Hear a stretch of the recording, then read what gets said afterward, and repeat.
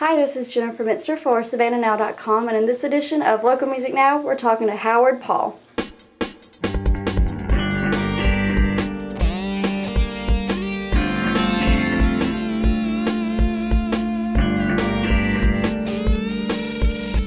Thank you very much for letting me come here and, and see the plant and talk to you. Um, but first, let's talk a little bit about when and why you started playing the guitar.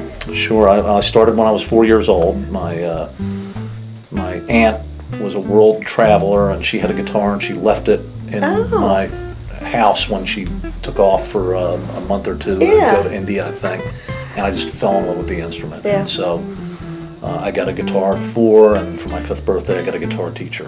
Yeah. Started taking lessons from there. Oh, that's amazing. Um, I started playing jazz when I was 10 Mm-hmm. through uh, a, a local great jazz saxophone player that was my age and virtuoso. Oh, So um, we started a jazz quartet at 10 years old. And By 13, we were playing professionally. that's amazing. So I, it's a long, long background in Yeah. it. Why um why jazz and not more of like a, a rock and roll type thing? Um, it was just more interesting to me at Yeah. the time. I started out, I guess, playing Beatles music like most people Yeah. my age did, and um, I just I, I don't want to say it's boring music, but from a music standpoint, it just was much more interesting Yeah, to me to play. Right.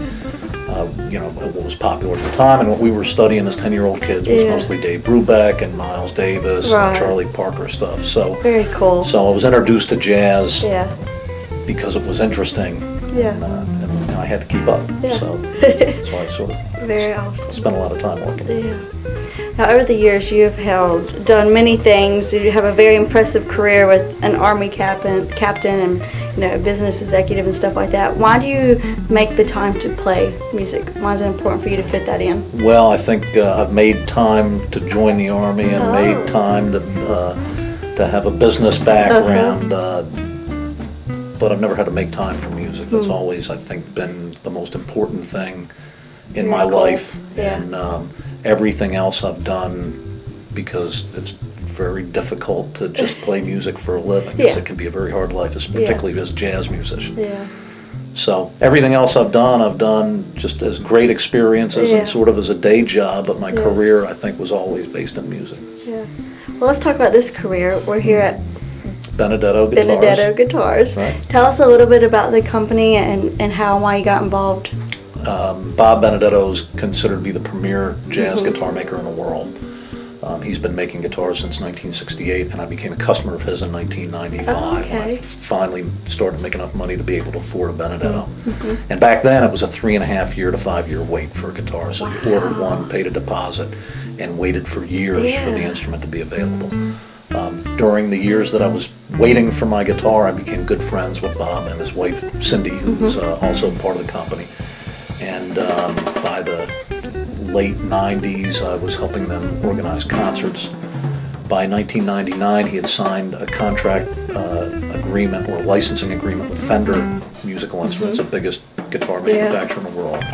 And so they made Benedetto guitars from 99 to 2006. And during that whole time, um, I was performing on Benedetto guitars, became an endorser of Benedetto Yeah. guitars.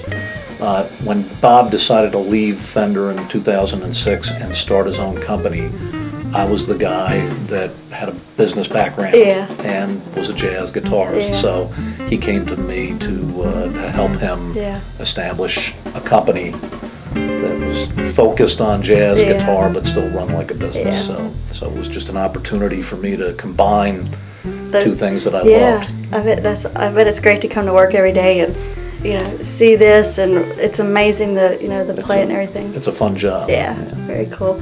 Well, going back to the music, you you play a lot around the country. Mhm. You'll have a couple shows coming up in in April. Tell us where people can find out more about you and the music and everything. Uh, I don't do a lot of club dates anymore, Yeah. but every now and then I like to I like to be able Yeah. to keep my fingers in it. So uh, I think the first and second Friday in April, I'll be working with Eric Jones's quartet at Blowing Smoke, and uh, the last Friday in April, the first Saturday in May, I'll be at the Jazz Corner. I'm featured at the Jazz Corner.